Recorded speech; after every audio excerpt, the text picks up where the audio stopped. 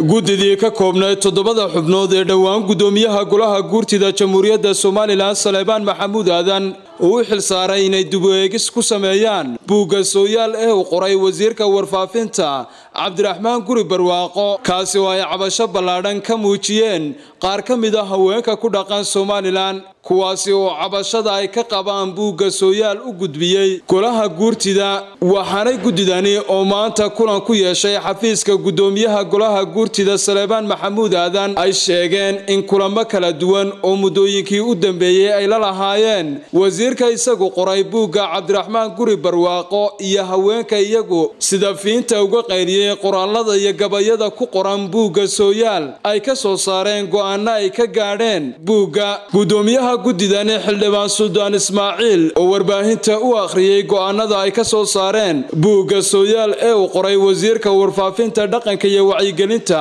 cabdiraxmaan guri barwaaqo ayaa sheegay in guud ahaan buuggaasi laga ururinayo dalka islamarkaasina lagu gubayo meel fagaaro ah. Waxaanu guddoomiyaha guddidani sheegay inaan mar dambe la daabici karin buugga sooyaal isagoo ka hadlaya go'aanada ay ka soo saareen buugga uu qoray wasiirka warfaafinta cabdiraxmaan guri barwaaqo waxaa ka mid ahaa hadaladiisii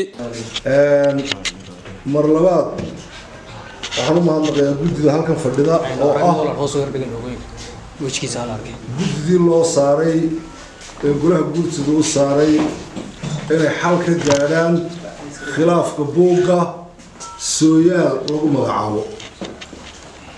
Muddaha tan laga joogo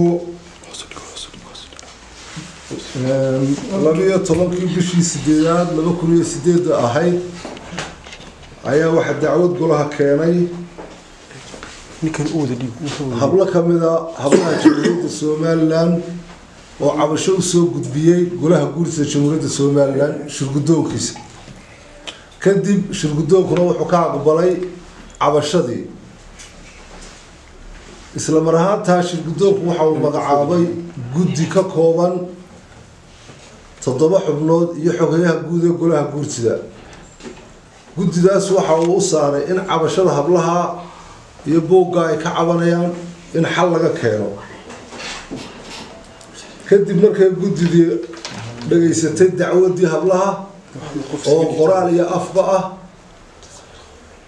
kadib markii ay dhageysatay jawaab celintii cidda buugga ay khuseysay oo ah wasiirka wasaaradda warfaafinta cabdiraxmaan guri barwaaqo. Kadib markii ay guddidii gaar isku noqotay ee ay iyadu dood iyo falanqeyn badan ka yeelatay waxay guddidu go'aan ka gaadhay qadiyaddaa muddada badan jirtay. Waxay guddidu aqoonsatay in gebi ahaan buuggaasi ay ku badan yihiin aflagaado badan oo dhaqanka iyo diinta iyo nabadgelyadaba wax u dhimaya. Mar hadday sidaa noqotayna guddidu waxaa hay'adda u xil saaran qaranka jamhuuriyadda somalilan golaha guurtida u xil saaran nabadgelyada iyo dhaqanka iyo diinta ilaalinteeda. Inagoo dhammaan dadweynaha jamhuuriyadda somalilan ka wada mas'uula saddexdaaba. Haddana waxaa si gaara ugu xil saaran golaha guurta jamhuuriyadda somalilan guddi ahaan inagoo saddexdaa ka duulayna waxaanu go'aanka iyaga ku salaynay saddexdaa qodob in buuggaasi wax u dhimayo. Mar hadduu saddexdaa qodob buuggaasi wax u dhimayo waxaanu nuxurka iyagii go'aankii ku soo ururinay in buuggaasi dalka laga ururiyo wixii ay ku qoran yihiin caydaas ee hore loo daawacay dhammaantii laga ururiyo fagaarana lagu gubo dibna aan loo qori karin isagoo sidaas oo kale ah. Guud ahaan jamhuuriyadda somalilanna waxa kale oo iyadna aanu go'aan ku gaadhnay inaan gabayadii iyo aflagaadooyinkii berigii hore ee dadku ay reer miiga ahaayeen ay isku tirin jireen inaan qoraal lagu samayn karin iyadna. Si aanay ummadda jamhuuriyadda somalilan fidno cusub ugu abuurin sidoo kale iyaguna waxaa halkaasi ka hadlay qaar ka mid a xubnaha guddidani u xil saarnaa inay dib u eegista ku sameeyaan buugga sooyaal ee cabashada ay ka muujiyeen qaar ka mid a haweenka ku dhaqan somalilan. Haddaan arrinkii gallayna waxay noqotay buuggaasi inuu jamhuuriyadda somalilan ku sii baaqan ku sii baaqan iyaan iyaan ku talinaynaa siduu yahayna la ururiyo. Lana gubo. Oo waxay u aragtaa tahraaci dadku markuu badowda israacayay.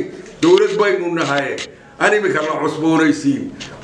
Raggii iga horreeyay hadalkiisiina waa ku raacay nabadgelyo. Loo saaray xaruntan khilaafkan ka dhacay khilaafkan cidi wax ka tirsatay wasiirkeenna cidi wax ka tirsatay. Haddaanu nahay guddidii loo saaray sidaa uu sheegay guddoomiyahay maxamed cumar daariq star t v. Hargeysa